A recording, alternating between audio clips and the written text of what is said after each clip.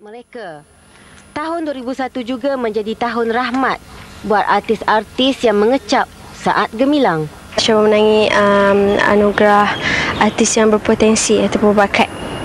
Hmm, dan Syah rasa ini adalah satu kenangan manis yang Syah tak Sambutan yang menggalakkan daripada peminat-peminat dan kemudian uh, kata orang Nana lebih dikenali sebelum ni sebab sebelum ni pun uh, Nana baru lagi dan sekarang ni orang dah ramai terima Nana. Pada 2001 ni Alhamdulillah rezeki hati uh, melimpah-limpah lah. Bagaimanapun bagi Siti Nurhaliza, kemuncak pelibatannya selama enam tahun apabila dinobatkan sebagai artis nombor satu negara.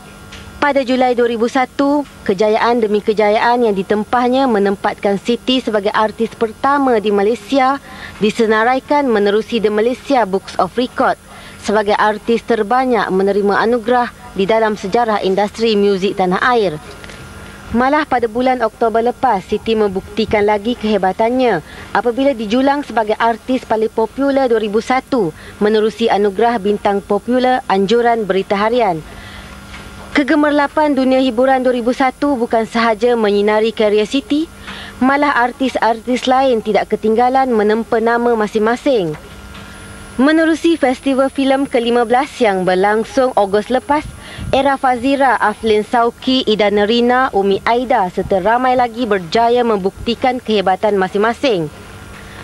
Bagi Era Fazira, setiap anugerah yang dimenanginya adalah petanda sokongan peminat yang tidak ternilai harganya.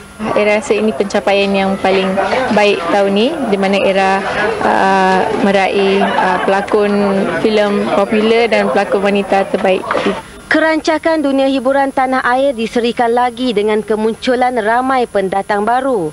Begitu juga ramai lagi penyanyi dan pelakon lain yang tumbuh bagai cendawan. Penutupnya, walaupun dihujani pelbagai masalah cetak rompak yang tidak berkesudahan, jualan album yang merundum tidak kurang juga masalah sosial yang tidak lekang dari dunia artis. Persada seni tanah air terus bersinar. Harapan semoga tirai 2002 terus mengundang kejayaan dan kegemilangan industri hiburan tempatan. Seterusnya memertabatkan persada seni tanah air ke tahap yang membanggakan.